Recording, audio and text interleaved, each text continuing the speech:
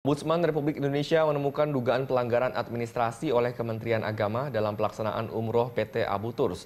Akibatnya calon jemaah merugi hingga 1,8 triliun rupiah.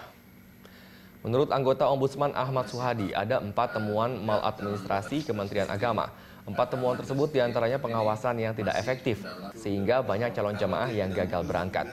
Kemenak juga diduga menyalahgunakan wewenang dengan membiarkan Abu Tur memberangkatkan calon jemaah meski surat izin dicabut. Namun Menteri Agama Lukman Hakim mengklarifikasi pemberangkatan dengan tambahan biaya merupakan solusi yang diberikan oleh pihak ketiga.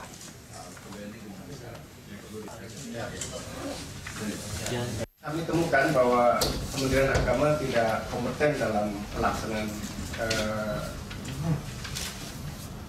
pelaksanaan umroh ini karena ada banyak pengawasan yang tidak efektif yang meskipun itu uh, sudah diatur. Kami memiliki komitmen yang sama antara kami di Kementerian Agama dan Ombudsman bahwa bagaimana agar manajemen pengelolaan terkait dengan pengawasan penyelenggaraan ibadah umroh itu harus lebih dioptimalkan, harus lebih ditingkatkan, harus lebih diefektifkan. Uh,